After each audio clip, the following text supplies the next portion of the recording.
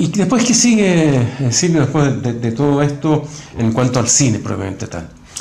Bueno, lo que sigue es que aparece Julio Comienza en julio y se hace un impacto muy grande en todo el mundo. También hay una anécdota curiosa y que la conté ayer. Eh, esa película también estuvo a punto de no existir. ¿Por qué? Porque en esos años el nuevo régimen, esta cosa, había creado a través de la televisión y los medios de comunicación la idea, la sensación de que todos los chilenos era rasca, era malo. Todos los chilenos, lo que oliera, obviamente, pues lo que oliera a los intimanes, o lo que oliera, ¿no es cierto?, a poncho, a, todo eso era pésimo. Bueno, llegaron a prohibir eh, un instrumento en el norte, ¿cómo se llama? Bueno, uno de los instrumentos que se usaba mucho en la música del norte, que era muy revolucionaria esa música. ¿El charango? Prohibieron, no, el charango, puede ser, pero prohibieron todas las músicas que tuvieran ese instrumento, fíjate, a ese nivel de, locura, ¿ya?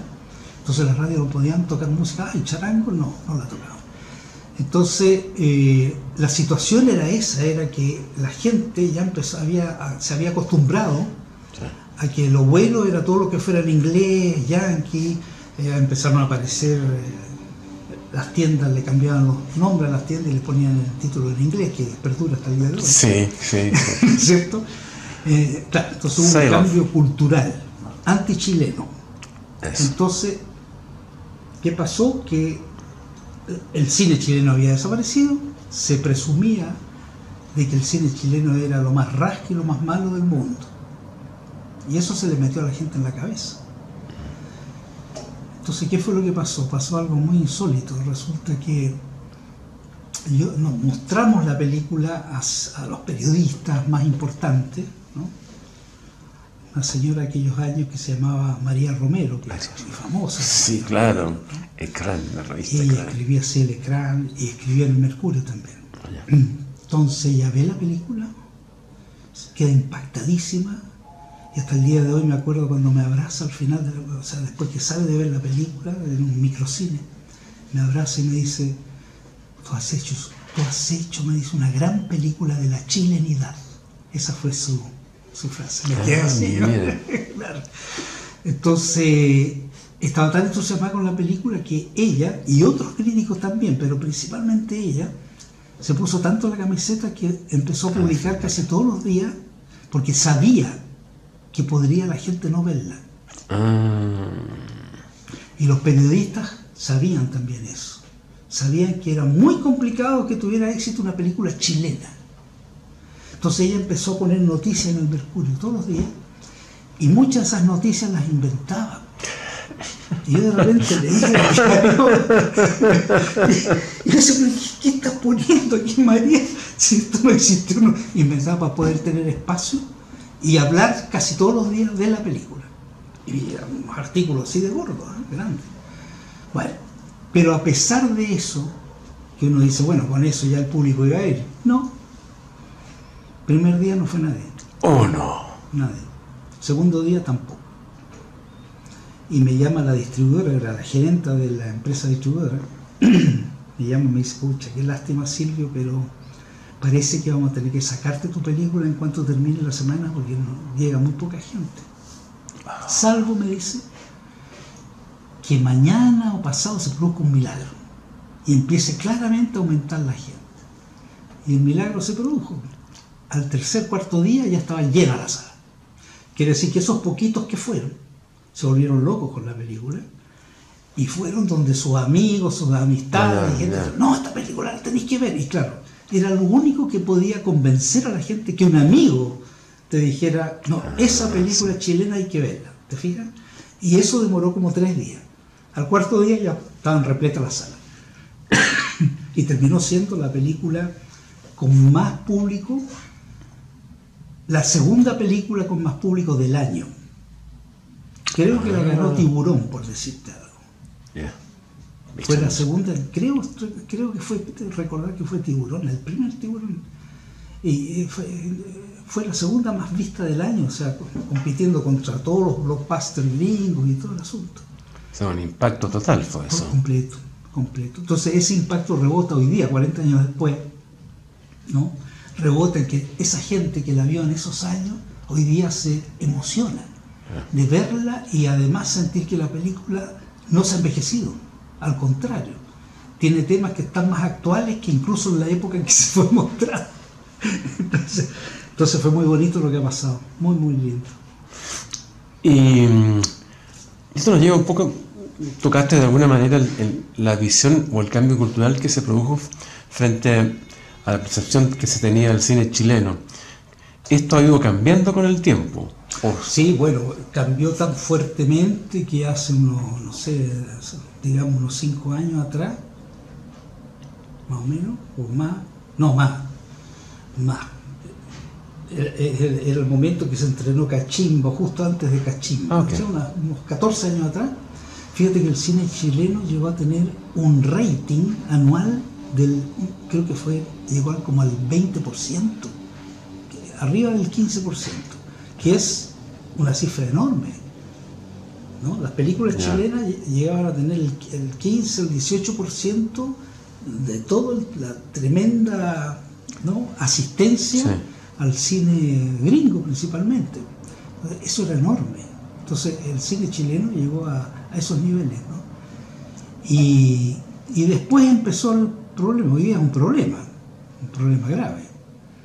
Hay un problema, o sea, mi experiencia en los viajes y todo esto, y con la última película, el lanzamiento, el darme cuenta, digamos, que hay realmente una colusión, un boicot eh, de parte de los exhibidores y que no es solo un problema chileno, es problema mundial.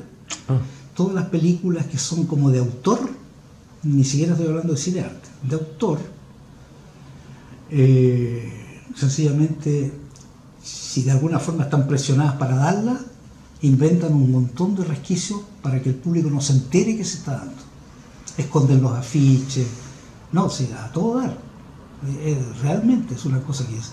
Y esto que estoy diciendo, que me pasó a mí, ahora que he viajado, fui hasta la China con mi nueva película, fantástico todo, y obviamente me encontré con directores en el Festival de Beijing, me invitaron directores de, primerísimo nivel mundial también, yo fui jurado ahí justo Entonces, mm, eh, conocí directores, sobre todo un húngaro que es extraordinario, que también tiene una película extraordinaria y la tiene media cortada. Eh, ¿ah? lo que llaman fuera del streaming, ah. no el streaming, perdón, le llaman ellos main, ¿cómo le llaman? Eh, bueno, se me olvidó el nombre que le dicen. A, las películas que son las que tienen que promocionar. Las que ganaron tantos millones de dólares en los estrenos, etc. Las que tienen que promocionar, las que tienen, las que están elegidas para, ¿ya? Eso.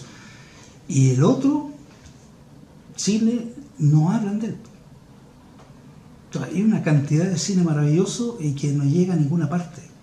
Porque no, lo mismo que está pasando con el cine chileno acá. Piensa que gracias a la ley de cine, hoy día se producen 40 películas. Más documentales, más cortometrajes. ¿no? ¿Y cuántos títulos de esas 40 películas anuales la gente los ha oído? Uno o dos. Sí, no. Ya. Hay 38 películas que la gente ni siquiera ha oído el título. Entonces, eso es un, es un tema dramático. y por eso estamos ahora pensando en que esa ley tiene que ser modificada para fomentar, promover la difusión, la publicidad de las películas, porque sin eso la publicidad es carísima. Cualquier aviso en el diario son 3 millones, 4 millones, 2 millones, es lo más caro que hay. Entonces tú no puedes competir contra las películas gringas, que sí tienen todo el presupuesto del mundo, sin hacer publicidad. Y al no hacer publicidad, los exhibidores no la quieren dar porque nadie sabe la película, la gente no va a venir. Y además ellos están en la onda de, de echar para afuera todo ese cine porque el negocio de ellos, el gran negocio de ellos, no son las películas, es el popcorn. sí, no, sí, pero es cierto. parece chiste, pero tú vas y todo, todo lo que viene alrededor. Y, y, tu hijo compra popcorn, Coca-Cola y qué sé yo, y eso sale más caro que la entrada de cine. Ya, entonces ese es el negocio de verdad. Entonces todo cine que no atraiga eh, a clientes que vayan a comprarle gorritos de recuerdo y todas esas cosas, no les gusta. Bueno, eh, este, este cambio en, en la ley, o sea, el fomento que tenía el Banco al Estado, que tampoco era tanta plata, ¿no? No, tampoco es tanta, mucha plata. Pero fíjate que era lo único que apuntaba a la difusión.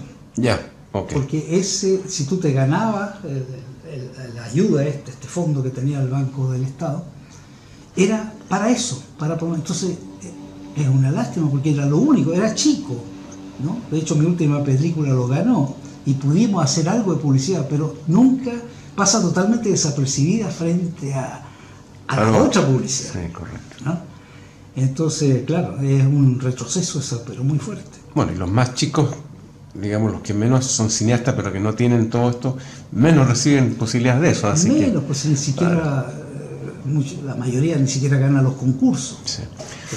¿Y de qué manera ha cambiado algo con, con este Oscar de la Mujer Fantástica o del Oso? algo? Igual diría yo. Ya. Bueno, eh, eh, fíjate que la situación actual es tan grave como que una película chilena que gana el Oscar No tuvo mucha. lleva 80.000 espectadores. Piensa que hace eh, 10 años atrás se decía si la película chilena lleva menos de 100.000 es un fracaso. Bueno, esta lleva 80. Entonces una situación súper grave. Y estamos de vuelta con esta cosa del público que de- vuelve a repeler, vuelve de alguna forma a decir, no, esas películas chilenas, eh, hay mucho en la prensa, de repente que dicen, hablan siempre de- del golpe militar, siempre son políticas, Ah, sí, y cosa que sí. no es cierta, porque la mayoría de las películas no son políticas, pero meten esa cosa, ¿no? Justamente para que no el público no vaya a ver cine chileno. Y, y eso se mete en la gente. Entonces, no, qué lata, que voy a ir a ver cine chileno. Prefiero ir a ver el, el gigante mono ese grande que está de moda.